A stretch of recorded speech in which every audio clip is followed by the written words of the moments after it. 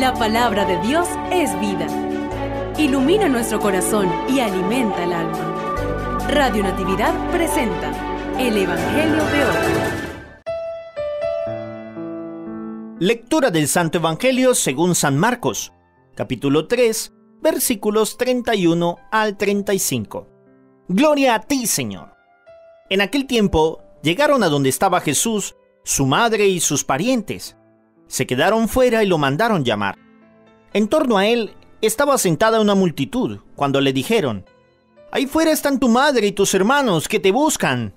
Él les respondió, ¿quién es mi madre y quiénes son mis hermanos? Luego mirando a los que estaban sentados a su alrededor, dijo, Estos son mi madre y mis hermanos, porque el que cumple la voluntad de Dios, ese es mi hermano, mi hermana y mi madre.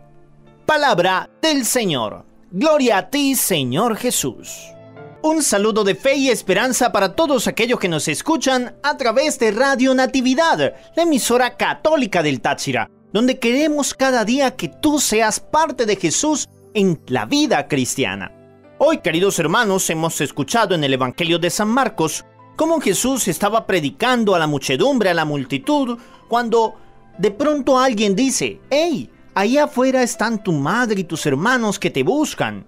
Jesús aprovecha la ocasión para ampliar su filiación con cada uno de nosotros. ¿Quiénes son mi madre y mis hermanos? ¿Acaso los que comparten la misma sangre? ¿Acaso los que pertenecen a un exclusivo grupo? No, mi madre y mis hermanos son todos aquellos que cumplen la voluntad de Dios. Ese es mi hermano, mi hermana y mi madre. Entonces, para ser hermano de Jesús, debemos cumplir la voluntad de Dios. Y hay que preguntarnos cuál es su voluntad. La voluntad no es otra, sino la que recibimos desde el bautismo. Ser hijos de Dios, miembros de la iglesia y herederos del reino de los cielos. Los hermanos protestantes lamentablemente utilizan este texto para decir que la Virgen María tuvo más hijos. Pero es un error bastante craso.